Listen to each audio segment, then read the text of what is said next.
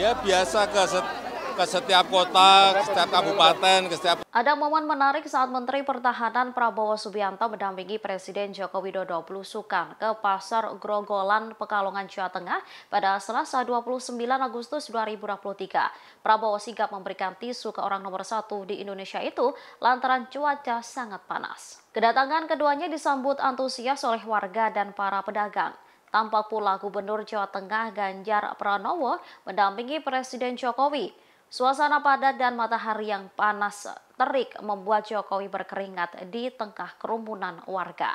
Melihat hal itu, Prabowo langsung sigap membawakan tisu untuk Jokowi.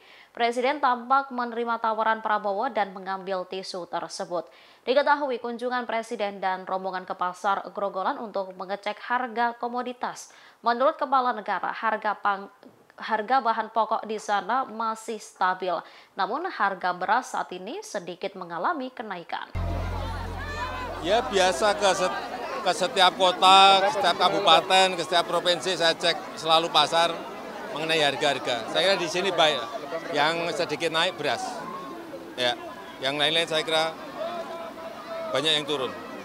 Bawang merah turun, tadi eh, daging ayam juga telur juga saya kira baik. Beras saja yang apa sedikit naik. Ya, udah. Terima kasih sudah nonton.